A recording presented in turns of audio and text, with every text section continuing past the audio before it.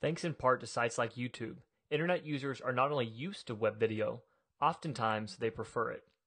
Helping this cause even more, Google is increasingly showing video content right in line with text results. This is helpful for several reasons, the most obvious being that your video stands out much more prominently than all the other text around it, as you can see in this picture. The result above takes you to a YouTube video, but there is something more important to take away. Most of the reason website owners don't like video centers around one of two things. Either A, they don't know how to optimize video for search engines, or B, they just don't know how to create engaging videos. Or so they think. Just like the title tag of a page is probably the most important on site SEO factor for your website, using relevant targeted keywords for your videos is equally important, and that's what helps videos rank organically. Since we know that search engines, and we're talking predominantly about Google since they're the biggest, not only index video, but prominently give a thumbnail to the image, video can and should be something you consider when it comes to marketing online. Throughout this article, I'm going to share with you some tips, resources, and things to consider when incorporating video into your website. In future training, we'll go deeper into specific products used to create compelling web video but use this as your foundation. In August 2009, more than 161 million viewers watched an average of 157 videos per viewer, according to data from the ComScore Video Metrics Service.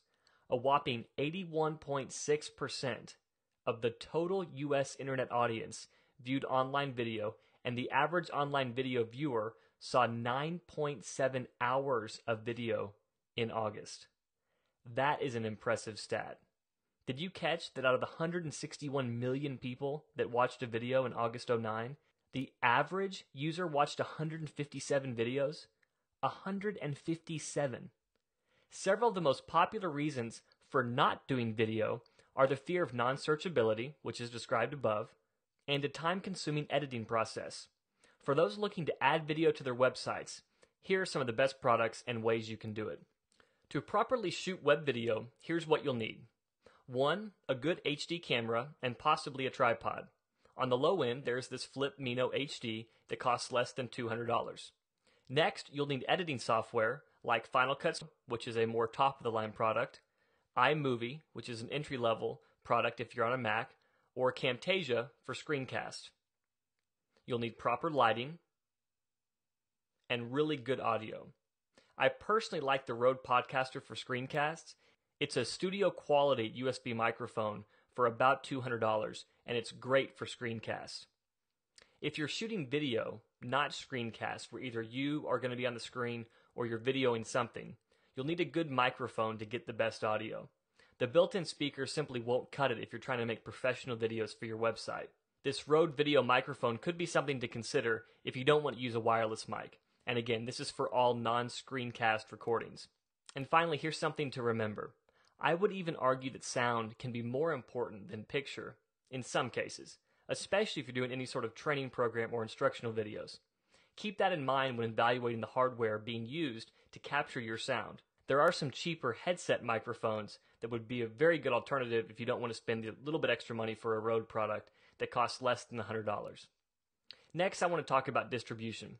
The important point to note is that you want to 1. Use a popular distribution platform like YouTube, Vimeo, or Blip.tv for hosting your videos. 2. You want to make them public. And 3. Remember to use relevant keywords to describe the video, as more often the title of your video is the title tag of the page where it's hosted. For added visibility, consider using several video hosting sites for your videos. Just because you upload it to YouTube doesn't mean you can't also upload it to Vimeo and Blip TV if you'd want. I've seen several people do this, and I think it's a great strategy. You can then take the video, once it's uploaded to one of those service providers or all of them, and embed it to your website or blog. To have your video take full advantage of potential search engines and quote site loyal traffic, or people who prefer to watch videos on Vimeo or YouTube, you'll want to first publish it to one of those main hosting sites the main video hosting sites, then embed it on your site. Like almost any other media online, you want to allow people to consume your media in as many different venues as possible, and it's incredibly easy to do with video. Some people won't know to go to your site, but they may happen to be on YouTube watching something else and discover your video. While it may be tempting to not use one of the mainstream video hosts for more control over design and aesthetic, remember that for most people online, the videos created are used to entice, engage, and just attract visitors to your site. Let's talk about cost.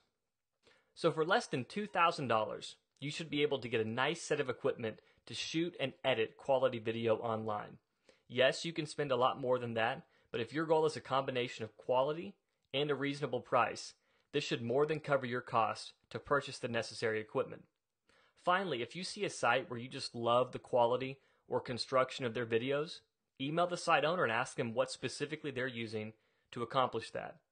To prove that web video can be created at extremely reasonable prices, let me outline my personal expenses for the software and hardware to create the very video you're watching right now.